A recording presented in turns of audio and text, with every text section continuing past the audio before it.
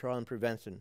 I'm excited to share with you today the release of CDC guidelines for the use of a new regimen for the treatment of persons with latent tuberculosis infection. Preventing tuberculosis disease by treating those with latent infection is a cornerstone of the U.S. strategy for TB elimination.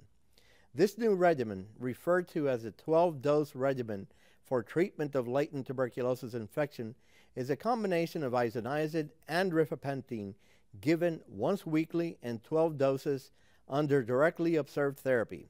This regimen is one of the biggest breakthroughs in treatment for latent tuberculosis infection since the 1960s, as it reduces treatment from 270 daily doses over nine months to 12 once weekly doses given over three months.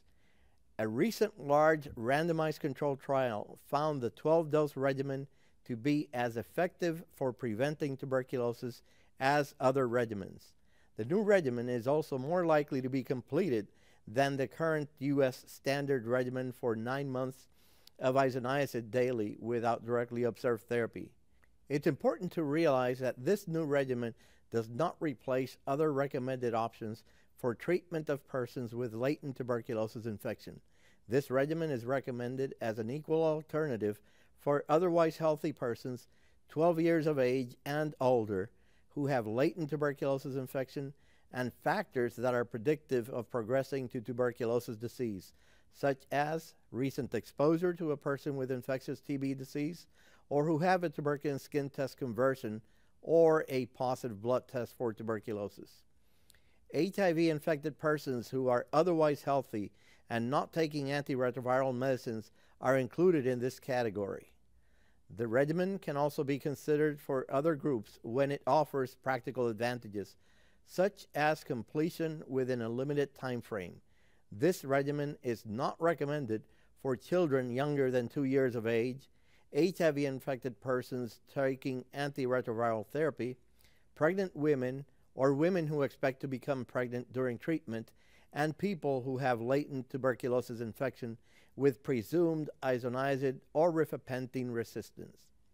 These persons should be treated with other available regimens for latent tuberculosis infection. The choice between the 12 dose regimen and other approved latent tuberculosis infection treatment regimens depends on several factors, including the feasibility of providing directly observed therapy, resources for drug procurement, program operations, including patient monitoring, expectance of treatment completion while considering the medical and the social circumstances of the patient, and the preferences of the patient and the prescribing physician. Directly observed therapy is recommended for this 12 dose regimen. Outreach workers should be trained on potential medication side effects and how to educate patients about this new regimen. Persons using the 12 dose regimen should undergo monthly clinical monitoring, including inquiries about side effects and a physical assessment for signs of adverse effects. Although blood tests are not recommended for everyone, baseline and subsequent tests should be done for certain groups.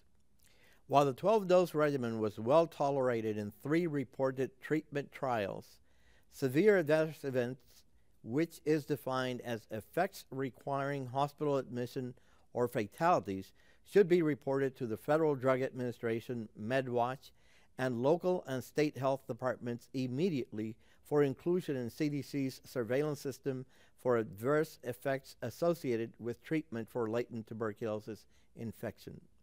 More information about latent TB infection, the available treatment options, and educational materials for healthcare professionals is available at www.cdc.gov forward slash